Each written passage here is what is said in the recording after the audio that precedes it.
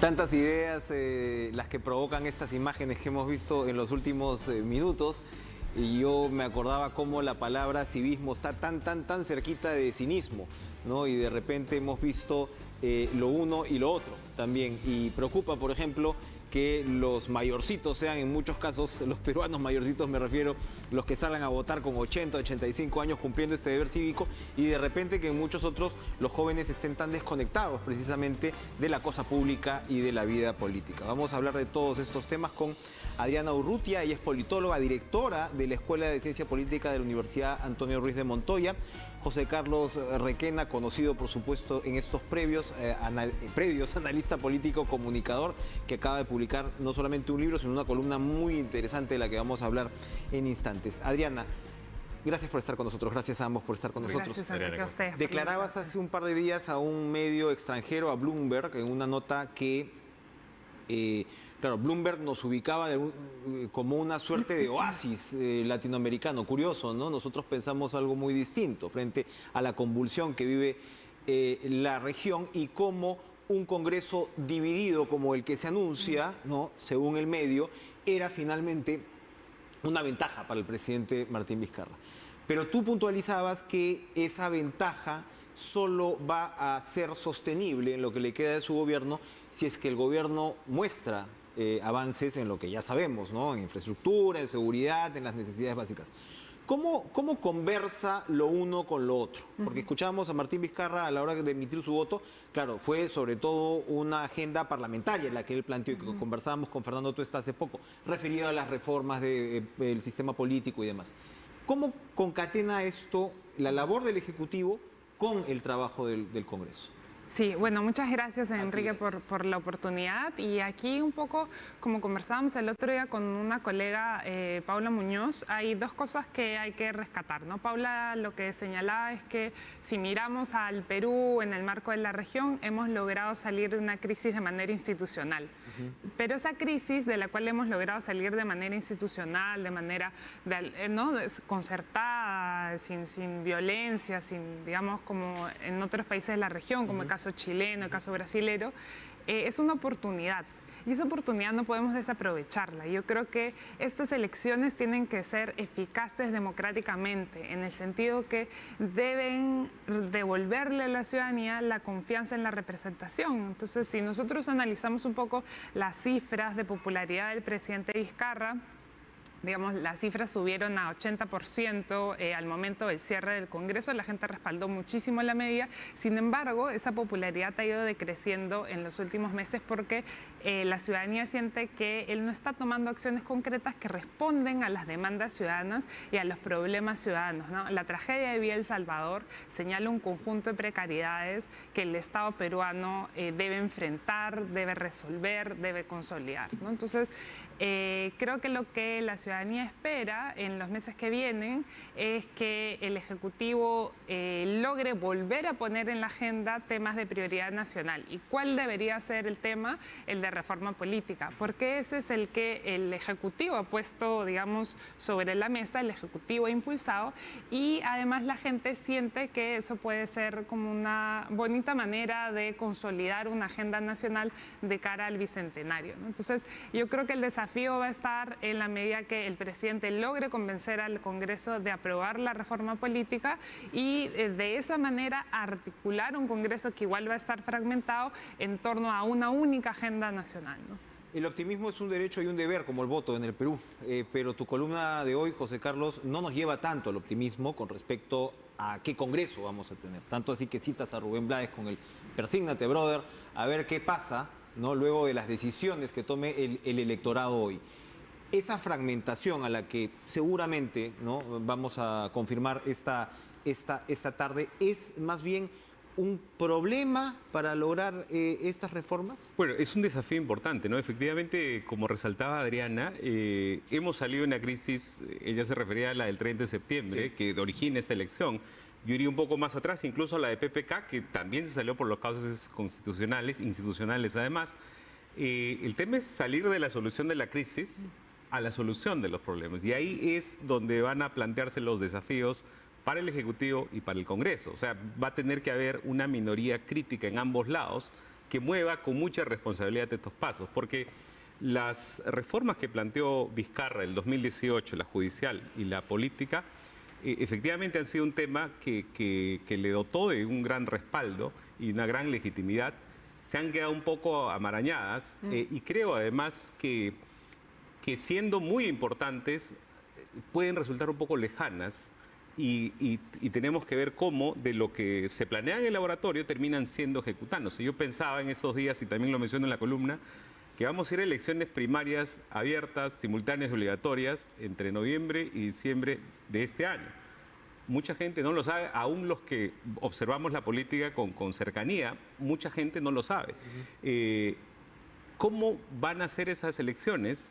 Vamos a tener que sacar enseñanzas de eso, pero es bueno empezar a, discutirlo y, a, a moderar el optimismo, porque creo que sí, la reforma es importante, pero no va a solucionar los problemas más cercanos de la gente. Y ahí es el principal reto del Ejecutivo. Hay que recordar al electorado que se despida del voto preferencial, al menos con estas elecciones. porque como conversábamos hace algún momento con Fernando Tuesta, esa, si todo sale bien, ¿no? porque hay todavía ajustes legislativos que, que hacer, si todo sale bien, ese voto preferencial se va a trasladar precisamente a las primarias que tú señalas y bueno, ojalá podamos tener un sistema más ordenado.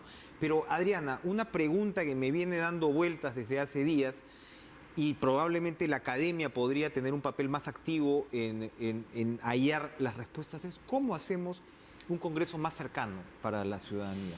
Le preguntaba a nuestro invitado anterior si hay experiencias internacionales, porque es una institución mm. complicada el Congreso, o sea, no es una institución, hay que reconocerlo, tal como está planteada, muy contemporánea para mm. los tiempos que vivimos, y hablaba de esta comparación entre eh, los, eh, los eh, peruanos de la tercera edad y los jóvenes y demás, no conecta, no solamente a partir de los escándalos o escandaletes que puede haber entre congresistas, sino que probablemente el diseño parlamentario no conecta como debería con las necesidades de la ciudadanía, ciudadanía despartidarizada y demás. ¿Qué podemos eh, comentar con respecto a esto? Yo creo que, para acercar el Congreso a la gente, lo que hay que hacer es acercar los partidos a la gente. Y en el Perú los partidos políticos son una institución que está totalmente desacreditada, que ha venido perdiendo fuerza desde hace ya varias décadas. Eh, pero que sin embargo tiene, eh, y llamémosle partidos, llamémosle organización, llamémosle movimiento, eh, tiene que haber un conjunto de organizaciones que sepan construir agenda desde el nivel local para constituir o sumarla de manera a constituir una agenda a nivel nacional. Yo hablo con mis estudiantes, son estudiantes de ciencia política, y los jóvenes, y ahí quería discrepar un poco de lo que tú señalabas al inicio, los jóvenes sí les interesa la política, en ciencia política tenemos cada vez más estudiantes, eh, a raíz de la ley Pulpín hay un... Al contrario de lo que pasa con periodismo. Pero sí, pues, sí, sí. ¿No? y, hay este, un conjunto de organizaciones que a, raíz de la ley Pulpín se pusieron en marcha, pero ¿cuál es la gran dificultad? La gran dificultad es articular esas demandas que tienen los jóvenes o la ciudadanía a nivel local con una agenda a nivel nacional. Y eso tiene que hacer, o sea, algún trabajo, alguna organización. Y es lo que llamamos en ciencia política trabajo político. Los partidos ya no están respondiendo a esa intermediación. No están respondiendo a esa intermediación. Exactamente. Y el tipo de trabajo que hacen en el territorio es un trabajo que responde a la promoción de individualidades, no a la promoción de una agenda nacional, a la promoción de reformas. Entonces creo que hay que ir orientando más bien este debate que tenemos a nivel local, distrital o de ciudad ¿Cuáles son los temas que nos preocupan? Nos preocupa en Lima el transporte, nos preocupa en Lima eh, las desigualdades, nos preocupa en Lima la sostenibilidad de nuestra ciudad. Entonces debemos generar y nosotros también participar en espacios de debate que nos permitan saber cuáles son los puntos que tenemos en común con el resto de ciudadanos. Quiero aprovechar tu expertise, José Carlos, con el tema regional, pero antes no quiero dejar pasar la oportunidad de comentar, ahora que veíamos a Pedro Pablo Kuczynski emitir su voto, eh, el libro publicado eh, hace poco, tú eres uno de los autores, de los cuatro autores del 30S, Anatomía de una disolución. Y recuerdo a Kuczynski precisamente porque ahí de alguna manera eh, es que, no sé si comienza, tú dices que la crisis va más atrás, pero comienza esta última etapa ¿no? de crisis entre el Ejecutivo y el Parlamento que termina en esta disolución. En tu ensayo, en tu capítulo, señalas eh, una suerte de efecto Pigmalión, que, que había eh, eh, de alguna manera una suerte de profecía autocumplida, que esto a lo cual se debería llegar a la, a la disolución del Congreso. Si planteamos ese momento, ¿no? esa crisis, esa tensión que desembocó en la disolución, con lo que tenemos ahora, y por supuesto con la reserva de lo que serán los resultados, ¿valió la pena? Bueno, mira, yo creo que la elección, eh, los resultados los veremos eh, en unas horas y, veremos si aún responden a esta dinámica eh, tan polarizante que se planteó entonces, que era contra el Congreso, a favor del Ejecutivo. La campaña no ha tenido un eje en torno a eso. Los temas que han estado privilegiándose han ido por otro lado. Quizás en los últimos días haya habido algún movimiento en ese sentido, pero por lo menos de lo que se vio hasta la semana pasada, va a ser un congreso de rostros que no van a reflejar necesariamente esa dinámica. Y un indicador de ello es que los partidos con mayor, eh, con mayor intención de voto hasta el domingo pasado eran aquellos que no habían tenido un, rol tan claro. O sea, no estaban ni, ni, los que apoyaban la disolución, ni los que apoyaban la vacancia del presidente, del presidente Pedro Pablo Kuczynski. Entonces, la, dinámica ya es, es, absolutamente otra y yo vería con algo más de detenimiento cuando tengamos los rostros qué agendas traen. Porque, por ejemplo, un partido que empujaba mucho la, agenda conservadora aparecía muy, muy rezagado, pero eso no significa que la agenda conservadora se haya, haya sido derrotada. Yo me inclinaría a pensar que todos los partidos van a tener alguna de estas voces discrepantes. exacto. Yo, yo, creo que sí, porque son rostros de nuevo que no vemos por dónde van, ¿no? Y, mm. y es, va, a tener que ser una nueva, una nueva batalla, si se quiere, por los que, como yo y como Adriana seguramente, queremos empujar políticas de equidad de género, políticas de, de, inclusión de diversas poblaciones, en fin. Este, entonces, yo creo que estamos entrando a una nueva dinámica en que la, en que la, la dicotomía eh, planteada el 30 de septiembre termina siendo solo referencial. Ahora, eh, sí. perdón. Quería aprovechar que José Carlos habla un poco de agendas y que estamos en plena jornada electoral para recordarle a los electores que si todavía no han decidido su voto y quieren más bien ver qué tipo de agenda proponen los partidos, la Asociación Civil Transparencia en su página web hay una sección que se llama Agendas Legislativas, me parece, donde uno puede ver cuáles son las ideas de fondo que proponen los partidos. Entonces, creo que también hay que orientar o como ciudadanos eh, ser bien conscientes del voto que estamos emitiendo, un poco aprovechando la oportunidad que se nos ha dado para devolver a la democracia esta eficiencia. Y una manera es consultando esta página web. Excelente. Para redondear, José Carlos, precisamente lo que hablábamos con, Adriana y, este tema del voto responsable, las agendas, el tema programático más puntual, ¿cómo las regiones se cuelgan a, esta dinámica. Siempre que uno viaja, y lo vemos con nuestros compañeros ahora mismo, las agendas de las regiones son tan distintas al centralismo limeño y muchas veces no se toma en cuenta eh, en eh, nuestra discusión pública. ¿Cómo, colgar esas e, Efectivamente, Adriana hablaba antes de, cómo había que acercar a los partidos al ciudadano. Eh, pero también hay que acercar a Lima a las regiones. ¿no? Había un viajero del siglo XIX que decía que Londres estaba más cerca, el Perú estaba más cerca de Londres que de Lima. Esto e, es, muy cierto. 90 de los 130 nombres que vamos a ver hoy, eh, si descontamos Callao y Lima, eh, corresponden a las regiones en las que sabemos muy poco. Ahí las dinámicas seguramente no va a ir necesariamente en torno a la reforma política, que ha sido el tema que hemos, que hemos estado, que se está discutiendo mucho en Lima.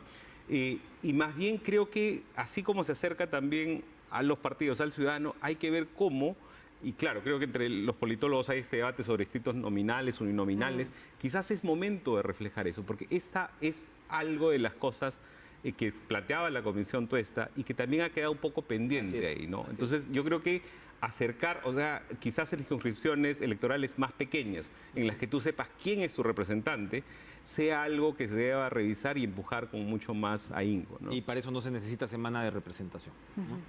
Adriana, José Carlos, gracias por acompañarnos esta mañana. Muy interesante diálogo. Vamos a irnos a una pausa y seguimos con esta cobertura extraordinaria, descentralizada, lo subrayo, de las elecciones parlamentarias del Congreso del 2020. No se muevan.